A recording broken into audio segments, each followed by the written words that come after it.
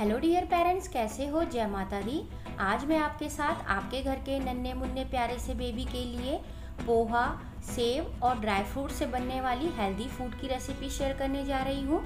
इस फ़ूड को खाने से आपके बेबी को भरपूर मात्रा में फाइबर और कैल्शियम मिल जाएगा, जो कि बेबी की हड्डियों की मजबूती रखेगा और साथ ही साथ आपके बेबी का शारीरिक और मानसिक विकास बहुत ही अच्छे से होगा। तो चलिए फटाफट से इस हेल्दी फ़ूड को बनाना तैयार करते हैं। एक मिक्सिंग बाउल में एक खजूर ले लिया है। खजूर की गुठली निकाल लेंगे। दो काजू ले लिए हैं, चार बादाम ले लिए हैं, एक अखरोट ले लिया है और तीन से चार दाने किशमिश के ले लिए हैं। एक बार अच्छे से साफ़ पानी से धो लेंगे और दोस्तों, ड्राई फ्रूट्स को लगभग एक घंटे के लिए भिगो के रख देंगे।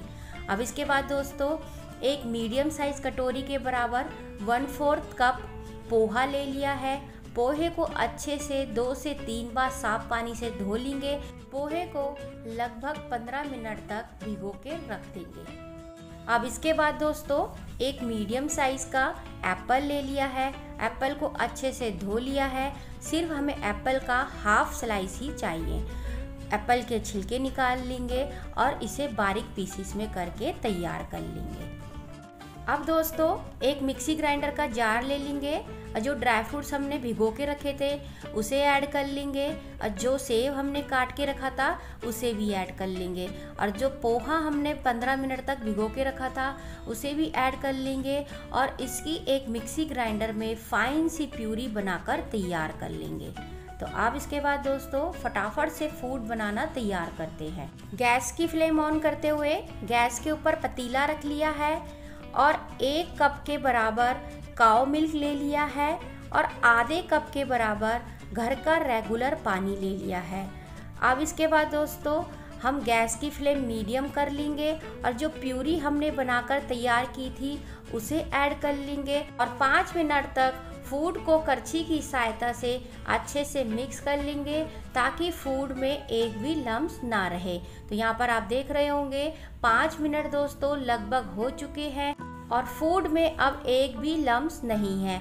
अब दोस्तों 10 मिनट तक लो और मीडियम फ्लेम में अच्छे से इस फ़ूड को उबाल लीजिए और बीच बीच में करछी की सहायता से भी चेक करते रहिएगा ताकि जो फ़ूड है वो पैन के तले में नीचे यकीन मानिए दोस्तों, यह फ़ूड आप अपने बेबी को रेगुलर बेसिस में देंगे तो आपके बेबी की हड्डियों की मजबूती होगी, आपके बेबी का मानसिक विकास होगा और आपके बेबी को भरपूर मात्रा में कैल्शियम मिल जाएगा।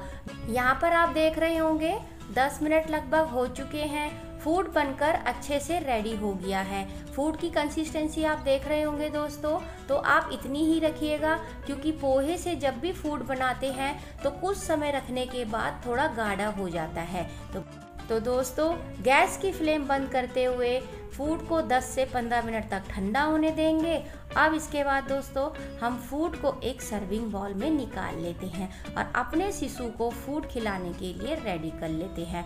और दोस्तों, अगर आपका बेबी वन ईयर का हो चुका है तो आप इतनी क्वांटिटी में अपने बेबी को आसानी से दे सकते हैं। और अगर आपका बेबी सात महीने से लेके एक साल तक है तो आप इस फ़ूड की क्वांटिटी कम कर लीजिएगा और फिर आप अपने बेबी को इस फ़ूड को ब्रेकफास्ट लंच डिनर किसी भी टाइम आसानी से बनाकर दे सकते हैं।